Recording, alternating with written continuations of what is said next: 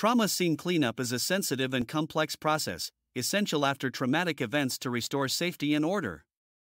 This task goes beyond mere cleaning, involving the careful removal of biohazardous materials and addressing the emotional impact on those affected.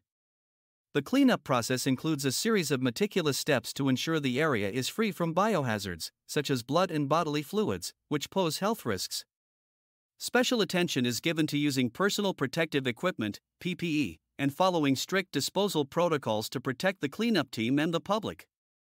Moreover, the emotional and psychological well being of victims' families and affected individuals is paramount. Cleanup professionals are not only trained in the technical aspects of their job but also in providing compassionate support during these difficult times, ensuring a respectful and understanding approach. Adhering to health and safety protocols is critical in trauma scene cleanup. These protocols safeguard the health of both the cleanup crew and the wider community, emphasizing the importance of professional expertise and sensitivity in handling such challenging situations.